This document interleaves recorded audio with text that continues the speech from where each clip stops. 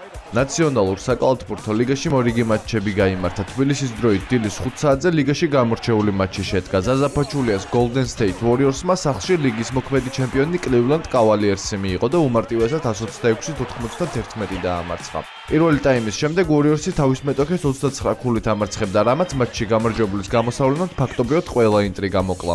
ქართველი ცენტრი ტრადიციულად სასტარტო ხუთეულში იმყოფებოდა და პარკეტზე 20 წუთიც დაჰყო. ამ დროში ზაზამ 4 ქულა 13 მოხსნა ერთი ერთი პასი და ერთი ჭაჭრა მოაგროვა.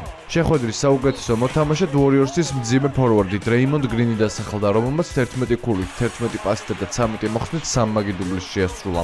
შეგახსენებთ, რომ 95 გამარჯვებით და 6 მარცხით Golden State Warriors-ი დასავლეთ კონფერენციის პირველ პოზიციას იკავებს. Cleveland-ი კი აღმოსავლეთ კონფერენციის პირველ ადგილს 29 გამარჯვებით და 11 მარცხით. Cleveland-ი კი აღმოსავლეთ კონფერენციის პირველ ადგილს და 29 გამარჯვებით და 11 მარცხით არის.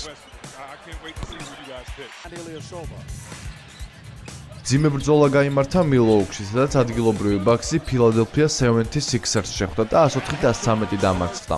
მიუხედავად იმისა, რომ ანგარიშის სხვაობამ საკმაოდ სოლიდური 9 ქულა შეადგინა, გუნდები ბოლო მეოთხედის მეორე ნახევრამდე თანაბრად მიდიოდნენ. შემდეგ კი ფილადელფიელთა ბრწყინვალე დაცვამ შედეგი გამოიღო და ქულებში გაქცევა მათით 2 შეადგინა. საბოლოოდ ფილადელფიამ ამ სეზონში თავისი მე-13 მატჩი მოიგო და აღმოსავლეთ კონფერენციაში მე-13 პოზიცია გაიმყარა.